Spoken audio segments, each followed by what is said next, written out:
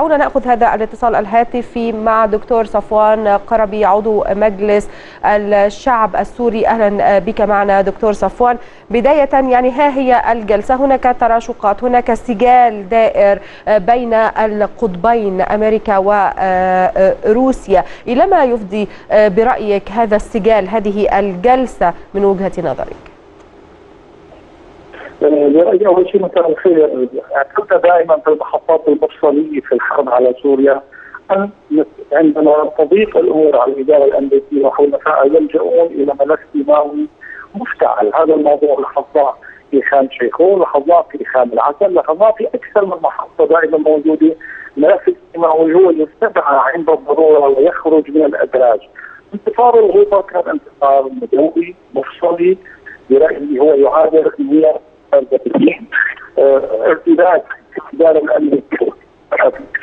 يعني دكتور صفوان صوتك لا يصلني بوضوح. يعني أنت تستطيع أن تغير مكانك بشكل أو بآخر حتى أستطيع أن أستقبل صوتك بوضوح. يعني أنت ذكرت كلمة في سياق كلامك. هذا ما يحدث هو شكل مفتعل أو هو يعني ما يشبه بالإفتعال. بما تقصد هذه الكلمة؟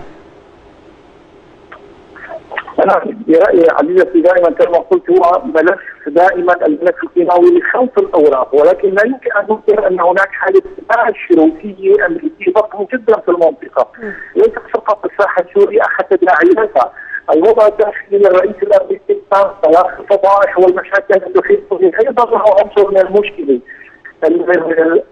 العقوبات المتبادلة ما بين أمريكا وعمليه طرد الدبلوماسيين نفس العملية المزدوجه في بريطانيا. كل هذا الفات خلافيه تنشر اجواء احتقار ضخم جدا أمريكي روسي عمليا وحاله نوع من أنواع الصراع العالمي واقع سياسي دولي جديد.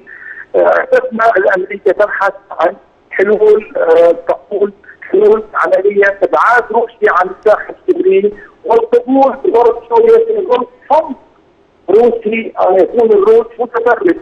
كل القراءات تشير ان الامريكان غير قادرين على التنفس بالفعل الروسي الذي قد يكون عنيف واقع القوات السورية الموجوده في الشمال الشرقي لسوريا هي موجودة تحت ضرب الصواريخ السورية واصدقاء سوريا أيضا هو واقع مهم جدا لذلك اتفهم ارتباك الإدارة الأمريكية. أتفهم التصريحات التي تصبح على شيء وتمضي على شيء.